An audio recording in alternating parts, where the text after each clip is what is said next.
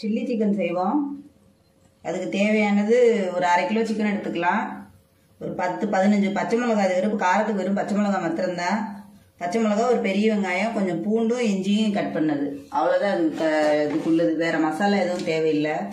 இப்போ கடாய் காஞ்சிருச்சு எண்ணெய் சேர்த்துக்குருவோம் நல்லெண்ணெய் சேர்த்துக்கிட்டோம்னா நல்லது. இப்போ நல்லெண்ணெய் சூடாகட்டும். இதில் மசாலா பொருள் வேறு எதுவுமே இல்லை. இது ரசம் சாம்பார் சாப்பிட்றதுக்கு நல்லாயிருக்கும். அது என்ன எண்ணெய் நல்லா காஞ்சிருச்சு. ஒரு பெரிய வெங்காயம் கட் பண்ணி இதில் சேர்த்துக்கலாம்.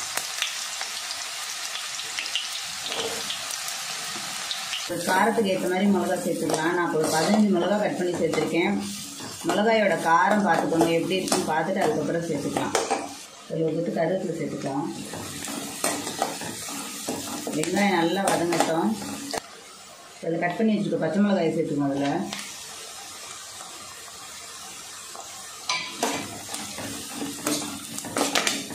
பச்சை மிளகாய் வெங்காயமும் நல்லா வதங்கட்டும். இந்த வெங்காயம் வதங்குறதுக்கு உப்பு கொஞ்சம் சேர்த்துக்கிடுவோம்.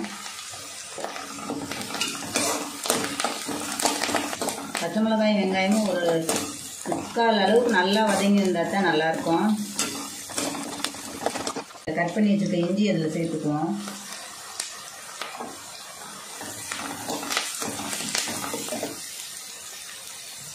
பத்து பல்லு பூண்டு கட் பண்ணி வச்சுருக்கேன் அதுவும் அதில் சேர்த்துக்கலாம்.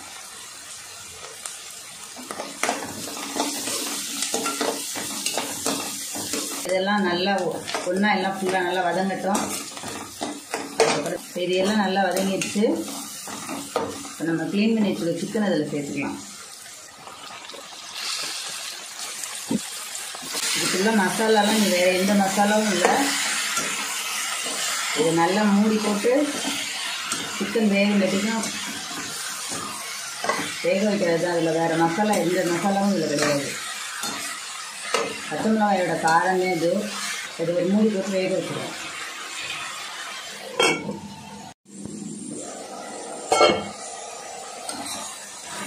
இது ஓரளவுக்கு வதங்கிடுச்சு இதில் கம்மி சும்மா ஒரு அரை டம்ளர் இதில் தண்ணி ஊற்றி இதில் வேக விடுவோம். அப்போ தான் சிக்கன் நல்லா குக் ஆகுது.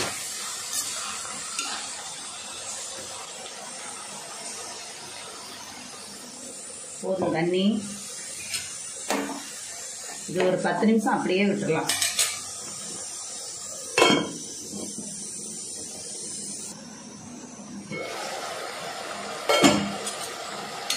ஓரளவுக்கு தண்ணி வத்திருச்சு. இன்னும் கொஞ்சம் தண்ணி இருக்குது அந்த தண்ணி கரெக்டாக வற்றும்போது கறி நல்லா வெந்துடும் என்னடா வேறு எதுவும் மசாலா போடலையேன்னு நல்லா இருக்காதுன்னு நினைக்கக்கூடாது. நல்லாயிருக்கும் டேஸ்ட்டு எப்போவுமே மசாலாவே போட்டு செஞ்சு சாப்பிட்றோம். இதுக்கு ஒரு தடவை கொஞ்சம் வித்தியாசமாக சாப்பிட்லாம். அதில் கொஞ்சம் கொத்தமல்லி தூவி ஒரு மூடி போட்டுருவோம். இந்த இருக்கிற தண்ணியை நல்லா சுண்டிருச்சுன்னா சிக்கன் டேஸ்ட்டு சூப்பராக இருக்கும் அது.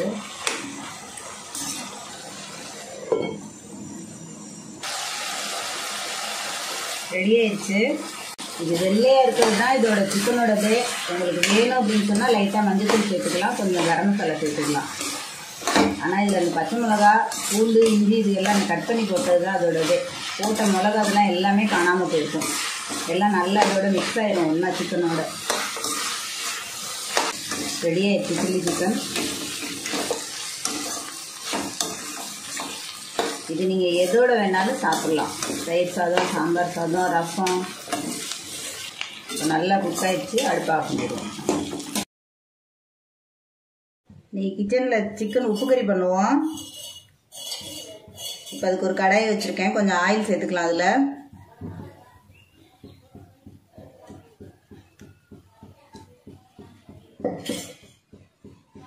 இதுக்கு பட்டை கிராம்பு இதெல்லாம் எதுவுமே தேவையில்லை. வெறும் சோம்பு மத்திரம்தான் இதுக்கு.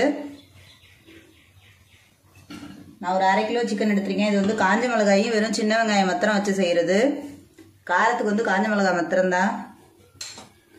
இப்போ எண்ணெய் நல்லா காயிட்டு அதில் சோம்பு மாத்திரம் சேர்த்துக்குவோம். இப்போ எண்ணெய் நல்லா கஞ்சிருச்சு அதில் வந்து ஒரு ஸ்பூன் சோம்பு சேர்த்துக்கலாம் அதில். நான் இதில் ஒரு பதினஞ்சு காஞ்ச மிளகாய் எடுத்து வச்சுருக்கேன். அதுக்கு அந்த காரத்துக்கு ஏற்ற மாதிரி காம்பு கிள்ளிட்டு அதை சேர்த்துக்கலாம் அதை. விதையோடு தான் போடணும்.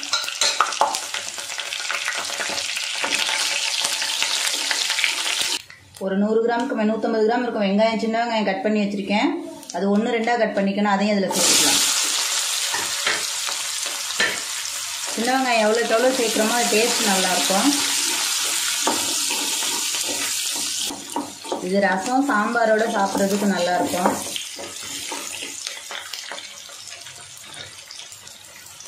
இதில் ஒரு கொத்து கருவேப்பிலை சேர்த்துக்கலாம்.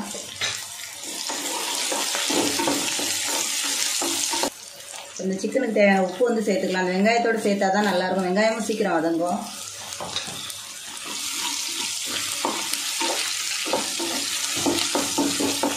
வெங்காயம் ஓரளவுக்கு முழுசு முழுசாக கிடக்கணும். அப்போ தான் நல்லாயிருக்கும் அந்த சிக்கனோட சேர்த்து சாப்பிட்றதுக்கு அந்த மிளகாயும் வெங்காயமும்.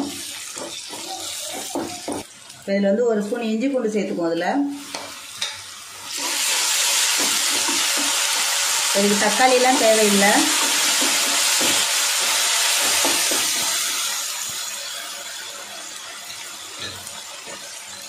சிக்கனை வந்து அதில் சேர்த்துக்கலாம்.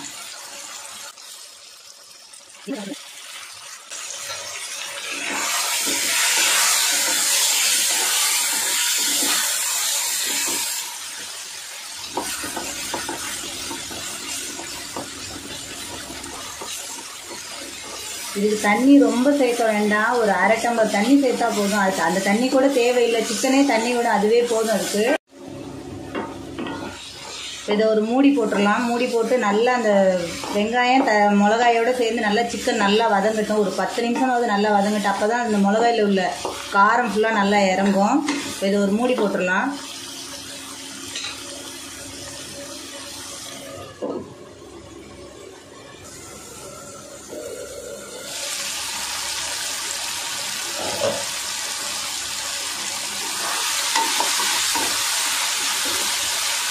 இதிலே ஓரளவுக்கு சிக்கன் நல்லா வெந்துடும் இதில் கொஞ்சமாக ஒரு கால் டம்ளருக்கு தண்ணி சேர்த்து அந்த சிக்கனை கொஞ்சம் நேரம் வேக விடலாம்.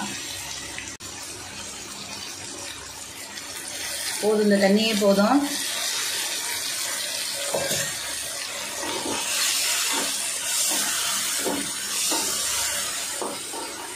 தண்ணி ஊற்றினோன்னா அந்த மிளகாயில் உள்ள இது ஃபுல்லாக காரம் ஃபுல்லாக நல்லா சிக்கனில் இறங்கிடும்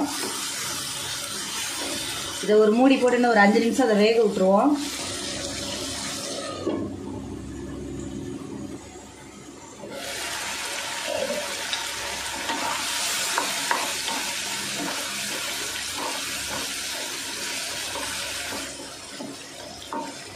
சிக்கன் ஓரளவுக்கு நல்லா வெந்துருச்சு. இதில் வந்து ஒரு ஒரு ஸ்பூன் ஜீரகமும் ஒரு ஸ்பூன் மிளகு ஒரு பத்து பல்லு பூண்டு இடித்து வச்சுருக்கேன். அதை அதில் சேர்த்துக்கலாம். அது டேஸ்ட்டே அதுதான். பூண்டு வந்து பூண்டை வந்து தோல் எடுக்கக்கூடாது. தோலோடு தான் இடிக்கணும் அதை. அதை அதில் வந்து போட்டுருவோம். அந்த மிளகுல உள்ள காரம் அதில் இறங்கிடும்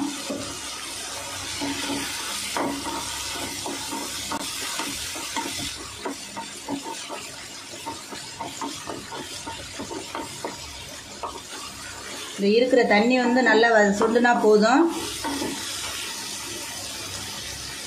இது ஒரு ரெண்டு நிமிஷம் மூடி போட்டுடலாம் அதை.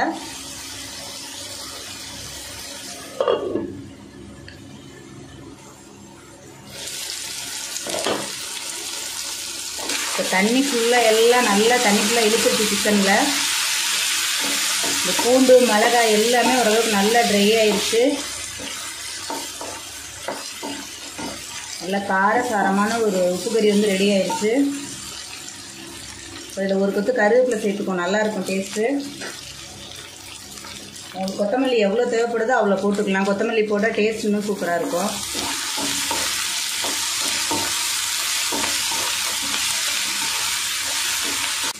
உப்பு கறி ரெடி ஆயிடுச்சு அடுப்பு ஆஃப் பண்ணிடலாம்.